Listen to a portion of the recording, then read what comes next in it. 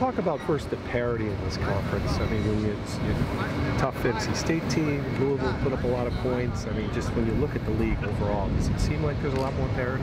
Yeah, I mean, I think the ACC has always been a talented league, and I think you see it this year. Uh, teams are battling. You know, games can get swung either way. So uh, each week, you know, it's a lot of the same. It's a lot of really, really grinding to make sure you you perform that weekend.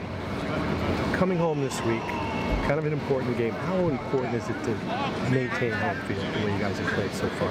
Um, I think this week's the most important week of the season. It's the next game, and it's it's a home game right before a bye week. So um, I definitely think the whole team's on board. Everyone's on deck. Uh, I mean, it's nice to play at home. It is, but. Uh, the grand scheme of things, it's just the next game is the most important thing right now. Speaking of that bye week, how good would it feel to go into a bye week coming off? It, it would be great. It would be great to go in and win. Um, especially in ACC play. Um, we're definitely fighting for that.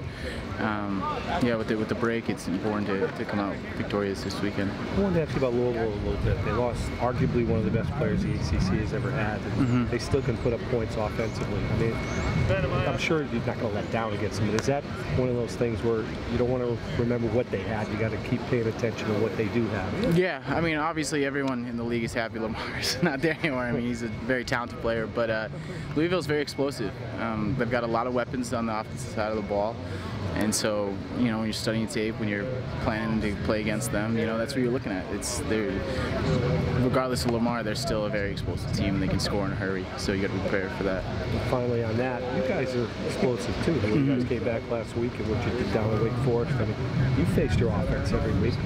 What do you see you know, from your team? Oh, um, I mean, I've been saying this all year. I mean, our talent, our offense is probably the talented I've ever seen it, you know, since I've been here.